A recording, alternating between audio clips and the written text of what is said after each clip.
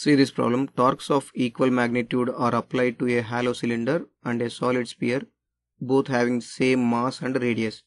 The cylinder is free to rotate about its standard axis of symmetry and the sphere is free to rotate about its axis passing through its center. Which of the two will acquire a greater angular speed after a given time? Our motive is we have a hollow cylinder like this and it is rotating about its axis passing through the center and it is standard axis of symmetry.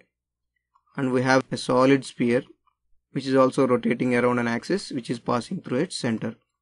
Both have same mass and same radius. And they have their own moment of inertia for the same torque we need to find out which is having more angular velocity at a particular time.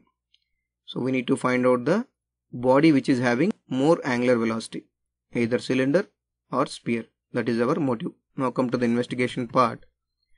There is no numbers on this so we need to get the answer is an expression. We have same mass we have same radius and we are applying same torque also. And i1 is the moment of inertia of the cylinder and that is equal to mr square.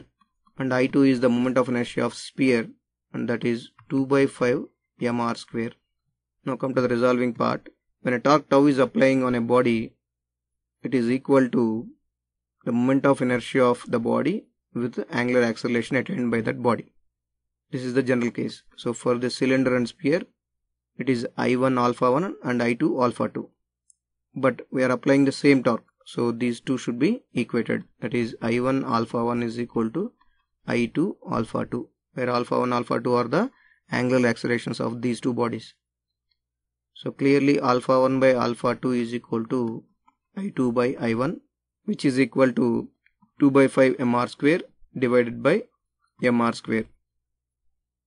That implies alpha 1 is equal to 2 by 5 alpha 2 or in other terms alpha 2 is equal to 5 by 2 alpha 1. From this it is clear that alpha 2 is greater than alpha 1. We know that angular velocity of a body at particular time t is equal to the initial angular velocity plus angular acceleration into the time of rotation. In this case, w1 is equal to omega naught plus alpha 1 into t, w2 is equal to omega naught plus alpha 2 into t. Since alpha 1 is less and alpha 2 is greater, so clearly w2 is greater than w1.